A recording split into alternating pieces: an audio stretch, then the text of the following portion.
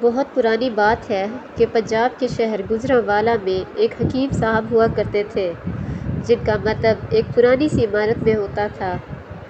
حکیم صاحب روزانہ صبح مکتب جانے سے پہلے بیوی کو کہتے کہ جو کچھ آج کے دن کے لیے تم کو درکار ہے، ایک چٹ پر لکھ کر دے دو۔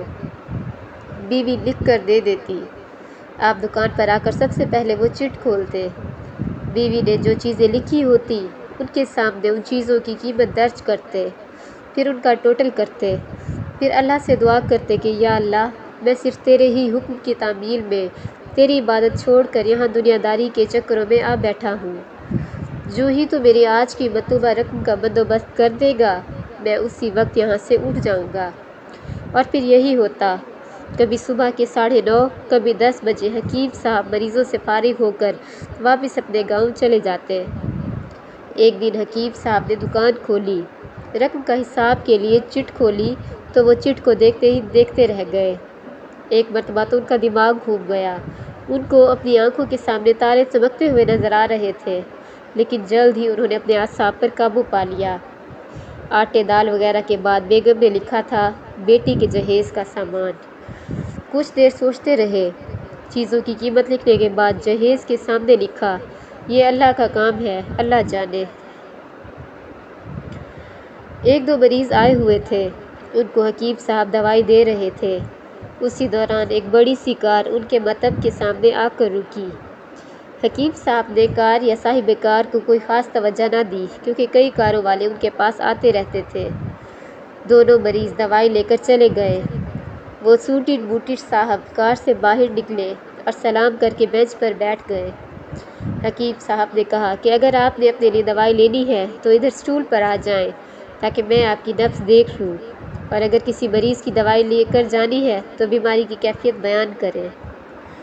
وہ صاحب کہنے لگے، حکیم صاحب، میرا خیال ہے آپ نے مجھے پہچانا نہیں، لیکن آپ مجھے پہچان بھی کیسے سکتے ہیں؟ کیونکہ سترہ اٹھارہ سال بعد آپ کے مکتب میں داخل ہوا ہوں۔ آپ کو گزشتہ ملاقات کا احوال سناتا ہوں، پھر آپ کو ساری بات یاد آ جائے گی۔ جب میں پہلی مرتبہ یہاں آیا تھا تو وہ میں خود نہیں آیا تھا، خدا مجھے آپ کے پاس لے آیا تھا۔ کیونکہ خدا کو مجھ پر رحم آ گیا تھا اور وہ میرا گھر آباد کرنا چاہتا تھا۔ ہوا اس طرح تھا کہ میں لاہور سے میر پور اپنی کار میں اپنے آبائی گھر جا رہا تھا۔ این آپ کی دکان کے سامنے ہماری کار پنچر ہو گئی تھی۔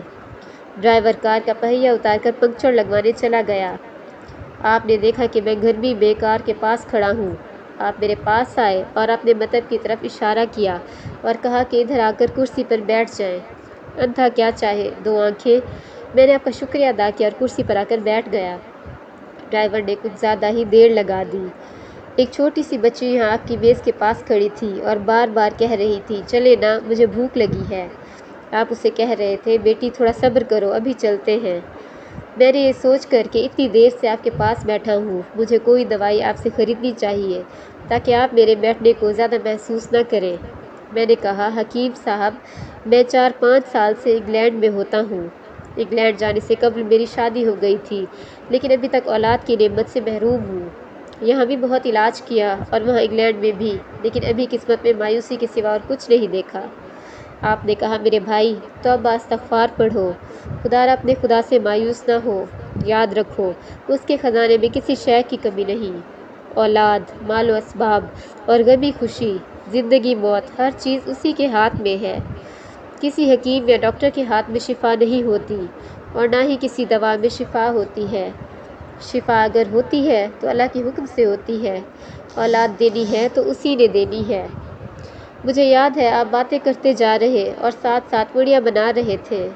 تمام دوائیاں اپنے دو حصوں میں تقسیم کر کے دو لفافوں میں ڈال دیں پھر مجھ سے پوچھا کہ آپ کا نام کیا ہے؟ میں نے بتایا کہ میرا نام محمد علی ہے۔ آپ نے ایک لفافہ پر محمد علی اور دوسرے پر بیگم محمد علی لکھا۔ پھر دونوں لفافے ایک بڑے لفافے میں ڈال کر دوائی استعمال کرنے کا طریقہ بتایا۔ میں نے بے دلی سے دوائی لے لی کیونکہ میں تو صرف کچھ رقم آپ کو دینا چاہتا تھا۔ لیکن جب دوائی لینے کے بعد میں نے پوچھا کتنے پیسے؟ آپ نے کہا بس ٹھیک ہے۔ میں نے زیادہ زور ڈالا تو آپ نے کہا کہ آج کا کھاتا بند ہو گیا ہے۔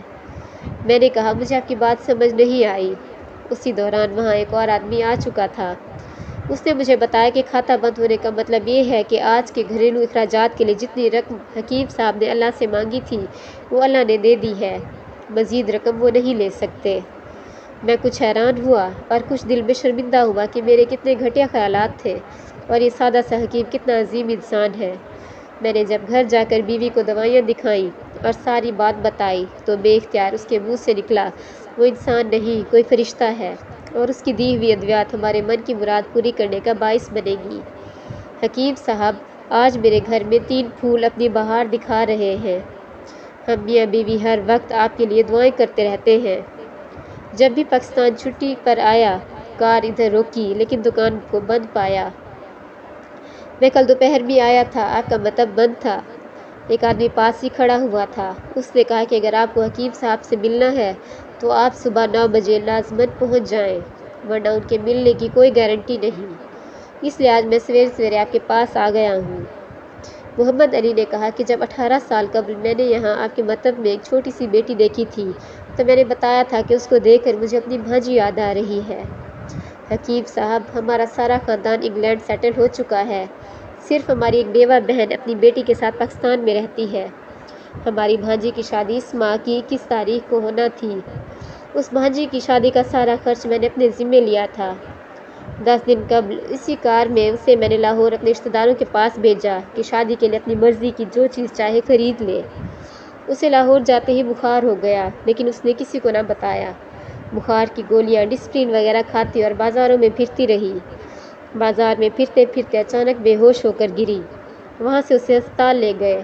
وہاں جا کر معلوم ہوا کہ اس کو ایک سو چار ڈگری بخار ہے اور یہ گردن توڑ بخار ہے۔ وہ بے ہوشی کے عالم میں ہی اس جہان فانی سے کوچ کر گئی۔ اس کے فوت ہوتے ہی نہ جانے کیوں مجھے اور میری بیوی کو اپنی بیٹی کا خیال آیا۔ ہم میاں بیوی نے اور ہماری تمام فیملی نے فیصلہ کیا کہ ہم اپنی بھانجی کا تمام جہیز کا سامان آپ کے ہاں پہنچا دیں گے۔ شادی جلد ہو تو اس کا بندوبست خود کر دیں گے اور اگر کچھ دیر ہے تو تمام اخراجات کے لیے رقم آپ کو نقد پہنچا دیں گے۔ آپ نے نہ نہیں کرنی۔ آپ اپنا گھر دکھا دیں تاکہ سامان کا ٹرک وہاں پہنچایا جا سکے۔ حکیم صاحب حیران و پریشان یوں گویا ہوئے، محمد علی صاحب، آپ جو کچھ کہہ رہے ہیں مجھے سمجھ نہیں آ رہا۔ میرا اتنا دماغ نہیں ہے۔ میں نے تو آج صبح جب بیوی کے ہاتھ کی لکھی ہوئی چٹ یہاں کر کھول کر دیکھی، تو مرچ مسالہ کے بعد جب میں نے یہ الفاظ پڑھے، بیٹی کے جہیز کا سامان، تو آپ کو معلوم ہے میں نے کیا لکھا۔ آپ خود یہ چٹ ذرا دیکھیں۔ محمد علی صاحب یہ دیکھ کر حیران رہ گئے کہ بیٹی کے جہیز کے سامنے لکھا ہوا تھا، یہ کام اللہ کا ہے، اللہ جانے۔ محمد علی صاحب یقین کریں، آج تک کبھی ایسا نہیں ہوا تھا کہ بیوی نے چٹ پر چیز لکھی ہو اور مولا نے اس کا، اس دن بندوبست نہ کر دیا ہو۔ محمد علی صاحب بہت حیران ہوئے اور قدرت پر اس طرح حیران کہ وہ کس طرح اپنے موزے دکھاتا ہے۔ حکیم صاحب نے کہا کہ جب سے ہوش سنبھالا، ایک ہی سبق پڑھا کہ صبح ورد کرنا ہے، رازق رازق، تو ہی رازق۔ اور شام کو شکر شکر مولا تیرا شکر۔